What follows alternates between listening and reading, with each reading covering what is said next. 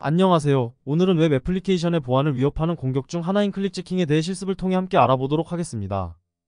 clickjacking은 사용자가 인지하지 못하는 사이에 악성 웹페이지를 클릭하도록 유도하는 공격으로 사용자의 의도와 관계없이 피해자의 웹브라우저에서 원치 않는 작업을 실행할 수 있습니다. 실습은 PortSwigger의 Web Security Academy를 통해 진행합니다.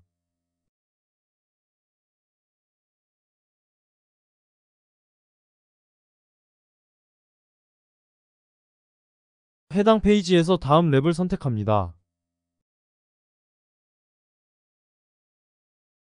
해당 lab에서는 URL 매개 변수에서 미리 입력된 양식 데이터를 사용하는 clickjacking 공격이 가능합니다. Access the lab 버튼을 클릭하여 실습을 할 수 있는 lab에 접속할 수 있습니다. 해당 lab은 CSRF 토큰 보호가 있는 기본적인 clickjacking lab을 확장한 것입니다. URL 매개 변수를 사용하여 양식을 미리 채워 사용자의 이메일 주소를 변경하고 사용자가 이메일 업데이트 버튼을 클릭하도록 유인합니다. 해결하기 위해 계정 페이지를 구성하고 사용자를 속여 이메일 주소를 업데이트하도록 HTML을 작성합니다. 이메일 주소가 변경되면 lab이 해결됩니다. My account를 클릭합니다.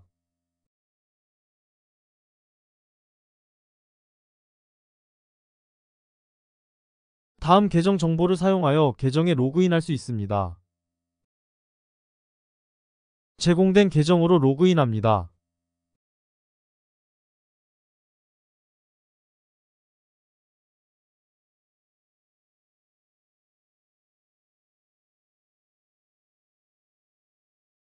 개발자 도구를 이용하여 웹페이지를 분석합니다.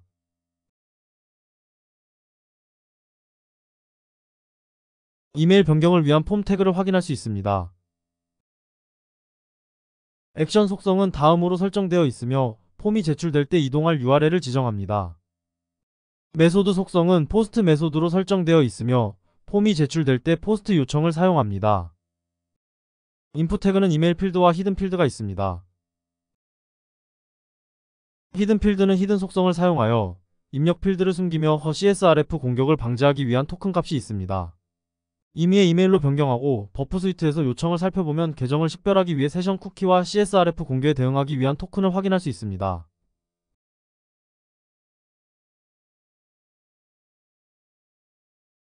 사용자가 클릭하도록 유인하는 웹페이지를 취약한 웹페이지 앞에 표시하되 사용자에게는 보이지 않도록 합니다. 또한 URL 매개 변수를 사용하여 양식을 미리 채워야 합니다.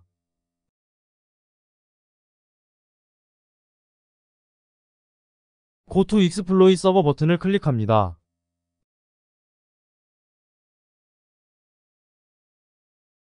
iframe 태그를 사용하여 웹페이지 안에 계정 페이지를 삽입합니다.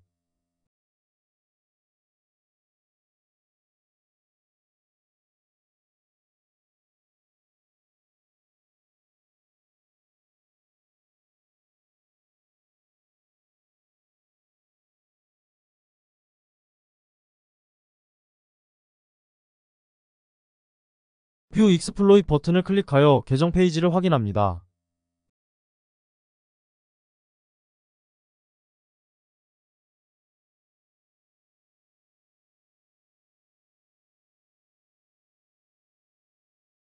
스타일 태그를 사용하여 계정 페이지의 스타일을 지정합니다.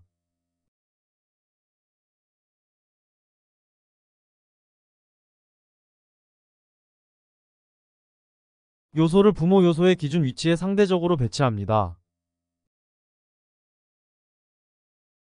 요소의 너비 및 높이를 설정합니다.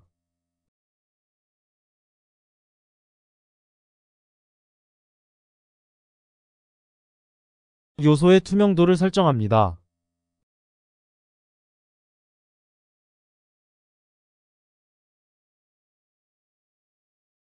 요소의 순서를 설정합니다.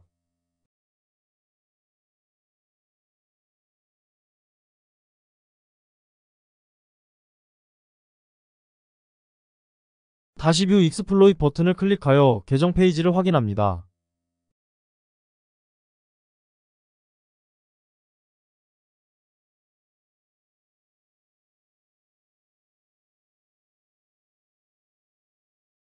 div 태그를 사용하여 Test me라는 단어를 추가합니다.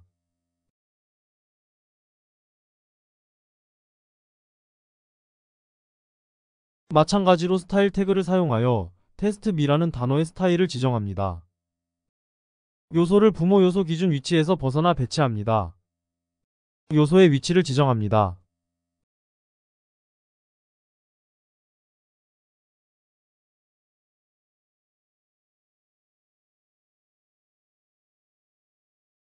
요소의 순서를 설정합니다.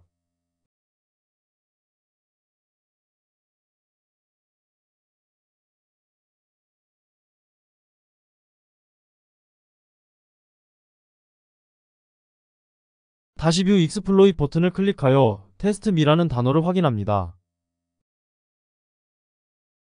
Test me의 위치를 Update email 버튼에 위치하도록 스타일 태그를 변경합니다.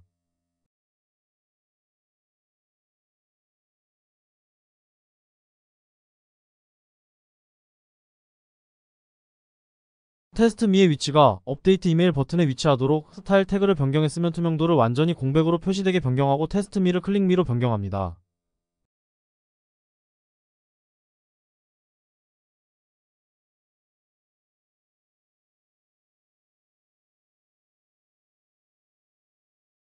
View exploit 버튼을 클릭하여 확인합니다.